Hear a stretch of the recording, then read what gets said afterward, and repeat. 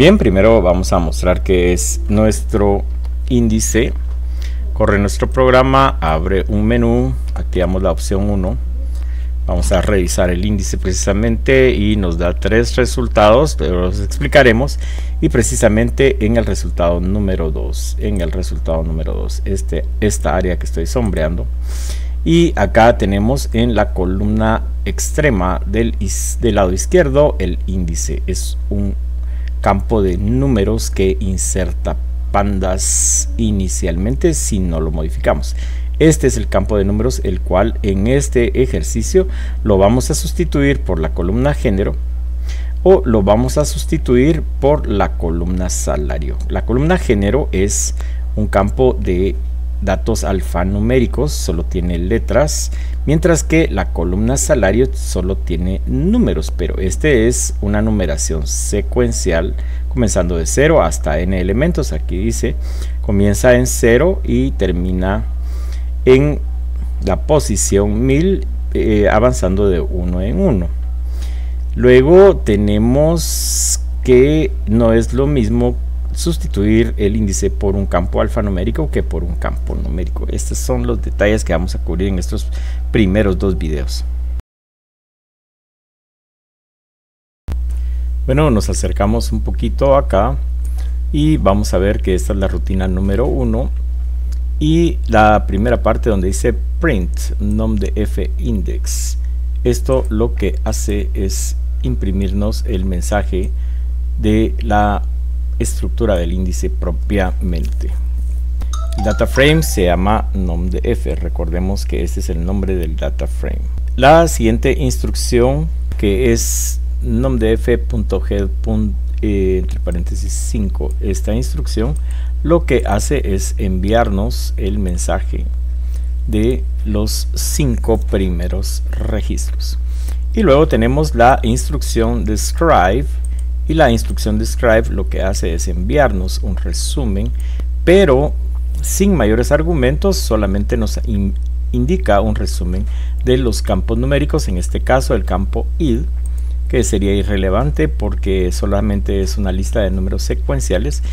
Y la otra columna importante es la columna salario, ahí sí tendremos eh, que tomar en cuenta algunos de los parámetros que acá nos manda, pero esto es generado por el método describe. Y muy bien, y entonces ahora nos toca nuestra rutina número 2. En la rutina número 2 tenemos una instrucción que nos va a cambiar el índice del data frame por la columna género. Luego se va a generar una lista a partir de ese índice a partir de este índice se va a hacer una lista con los valores únicos que estén. Esto es posible porque en género solamente hay dos valores. Y luego vamos a indicar que queremos mostrar, si masculino o femenino.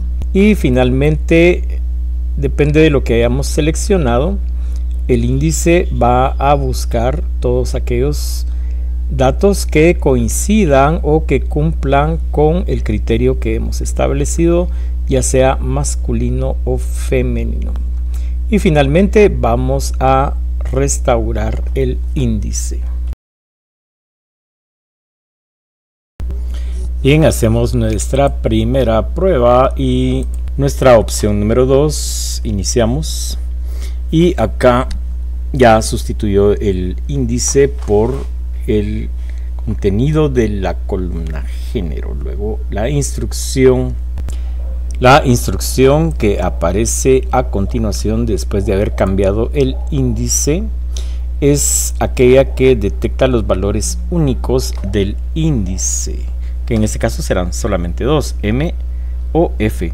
Para activar la opción M tenemos que pulsar 0, para activar la opción F tenemos que pulsar 1 entonces vamos a ver que efectivamente consultando exclusivamente el índice, nosotros ahora tenemos todos aquellos valores en los que el índice es igual a f y a continuación en el lado derecho tenemos los salarios. Así es como el índice nos puede aliviar la operación de consultar ciertos valores en un data frame.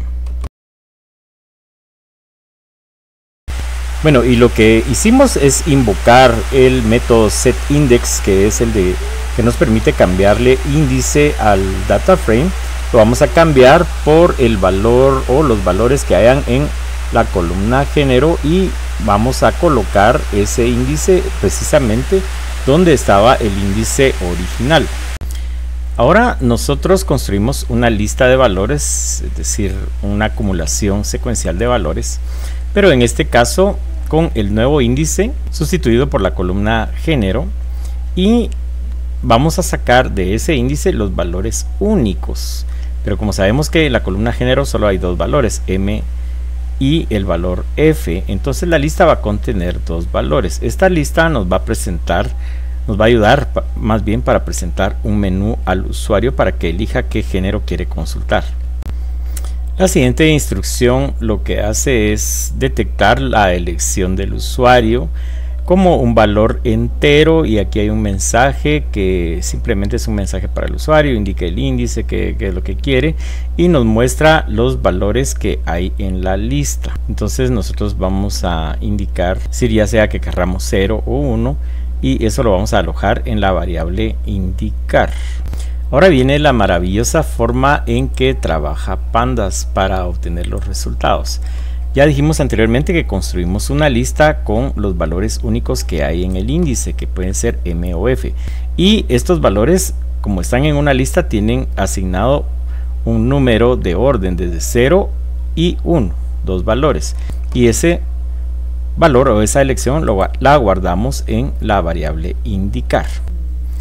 Luego llamamos al método lock y el método lock lo que va a hacer es primero consultar el índice primero consultar el índice pero ya sabemos que en el índice va a buscar el valor de la lista que hayamos elegido que en este caso puede ser M o F y adicionalmente va a agregar cualquier otra columna que nosotros querramos para mostrar en pantalla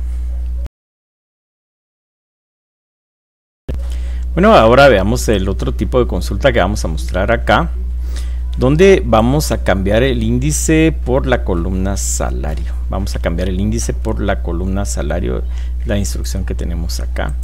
Quiere decir que anteriormente hicimos una consulta puramente alfanumérica, ahora vamos a hacer una consulta puramente numérica, pero las estrategias van a ser exactamente las mismas. En esta primera demostración sobre cómo trabajar con el índice. Corremos nuestro programa y ahora vamos a usar la opción 3. Solo que ahora la lista contiene otra serie de valores. Nos da siempre eh, los valores únicos del índice.